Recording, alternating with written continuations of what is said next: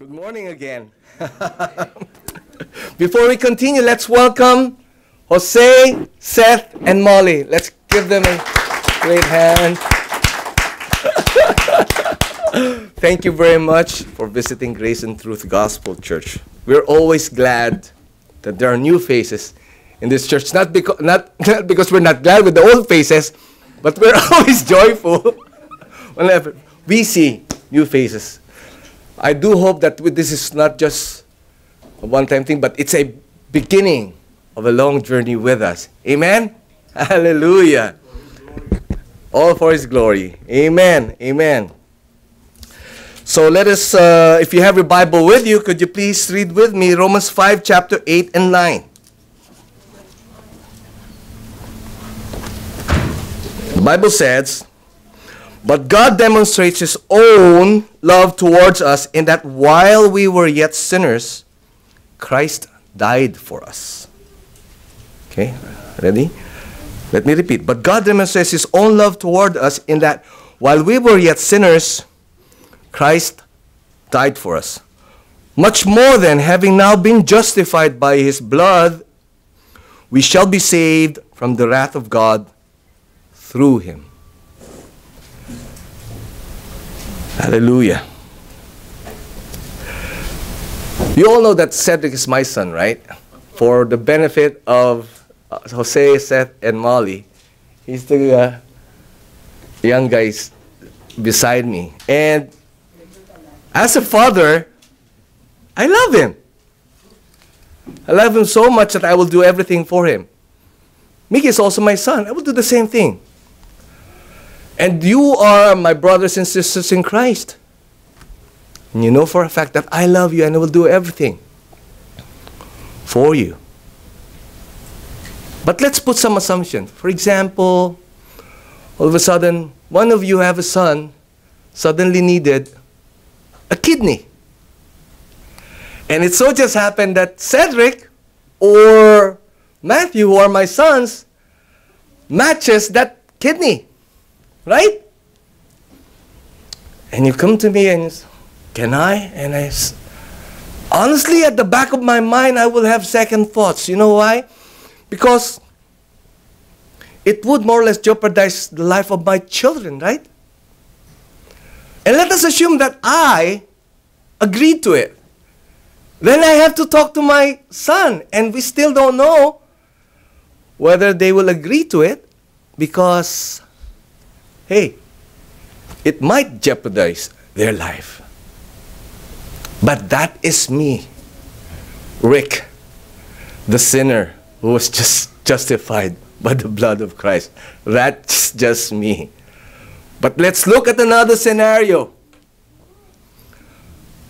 Almighty God, our Father in heaven, who have a son, and his name is Jesus. And he knows very well that man can never enter the kingdom of God by their own merits. The Bible tells us, For all have sinned and fall short of the glory of God. We all know that as Christians. But at that point in time, probably people doesn't know at that point in time. Let's give them the benefit of the doubt. But God the Father knows it very well. And the penalties of, uh, uh, of sin is death, condemnation. Father God knows that very well. That's why He called Jesus, my son. There is no way that Matthew could enter the kingdom of God on his own. There's no way that Eutychia could enter the kingdom of God of his, on, his, on, her own. So, my son, go down to earth and die on the cross for them. And here's the icing on the cake God and man at that point in time are enemies. Can you just imagine? People can do something to his friends, to people that, is, that he loves. Just like my illustration. But when it comes to a certain point, we might have second thoughts. But God the Father in heaven, who loves us so much, sent his only Son Jesus to die on the cross for us. Without hesitation, even though he knows that we, we men are his enemies. Amen to that? And it is not just an ordinary death, it is a death that reconciles us with God. And it is not just a death that is simple. Unlike nowadays, there's what we call, uh, what you call that? Lethal injection wherein you go to sleep. No, no, no. He suffered. He was ridiculed. He was hurt. Man did everything to him. Everything that's painful. Even the thorns. He has to die on the tree, on the cross. Nailed. How painful is that? But in all obedience, Jesus Christ has to do that. Because he has to pay the penalties for our sin. He has to be sin for us. For us unworthy sinners. For us unworthy sinners. He has to go through that. He is blameless. He is sinless. He is Almighty God. But he has to go through that for you and me to be saved from the condemnation of our sin. If I put a courtroom scenario, if we face our Creator, say for example, Cedric, Cedric Yao, stand up. You know what? When he sees Cedric Yao, the ultimate judge, he will just say, guilty. But praise the Lord, there is somebody who is going to pay the penalty.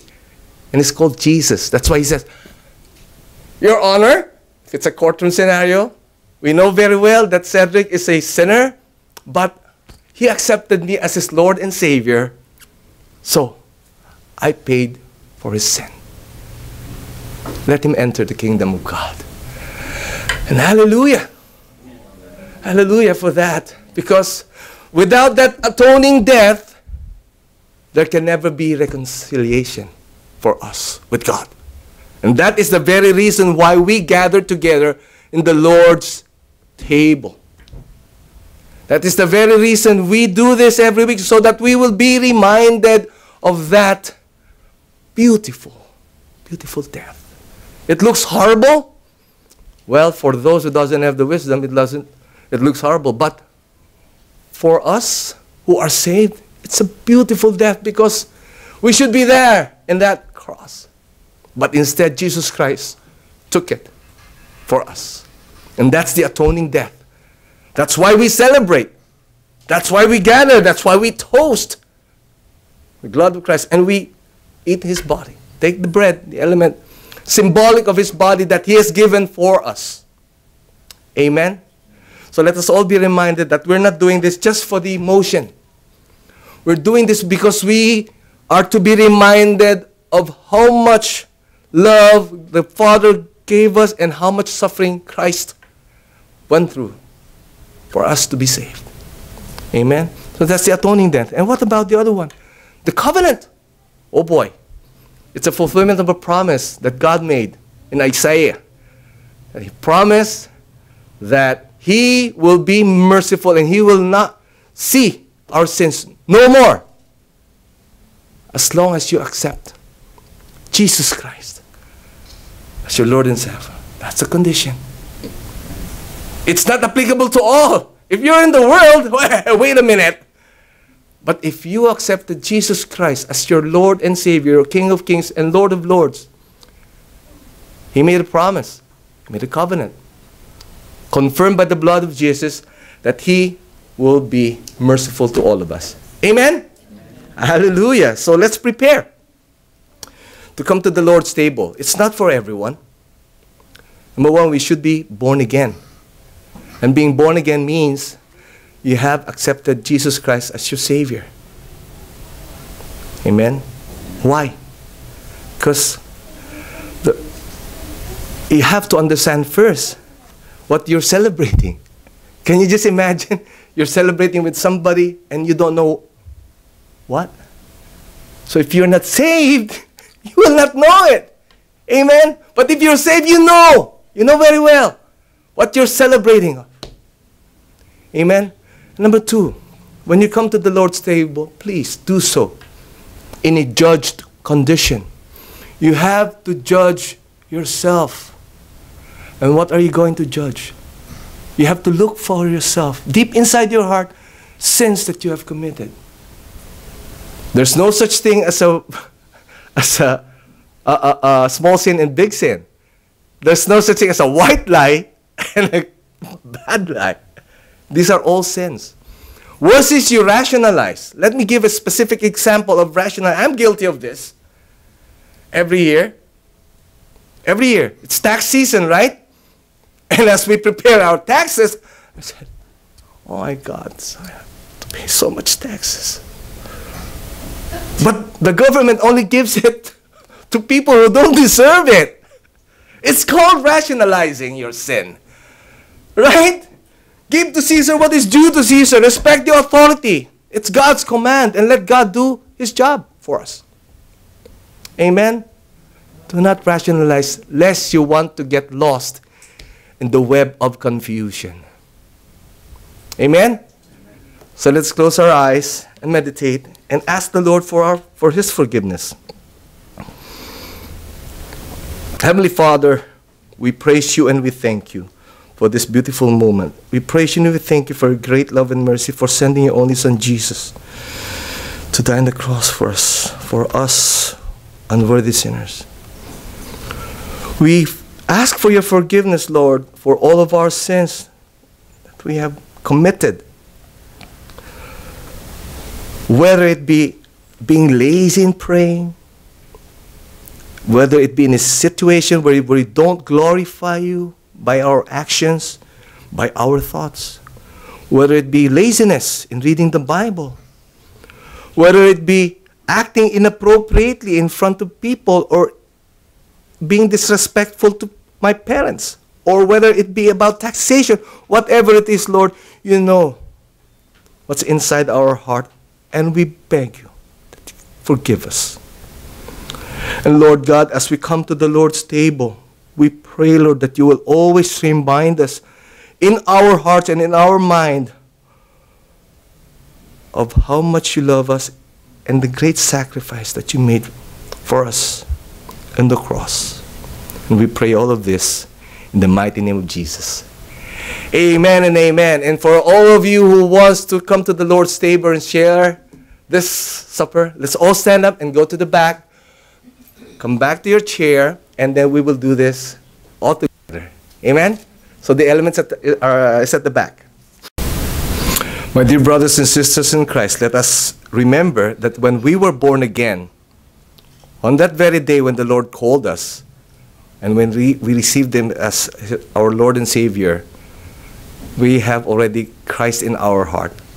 Let us remember that this bread doesn't become the body of Christ. No. This wine does not become the blood of Christ. But we are doing this symbolically, and we are doing this in celebration so that we will be reminded of his great sacrifice in the cross. Amen? For I received from the Lord that which I also delivered to you, that the Lord Jesus, in the night in which he was betrayed, took bread, and when he had given thanks, he broke it and said, This is my body which is for you. Do this in remembrance of me. Let's all eat the bread.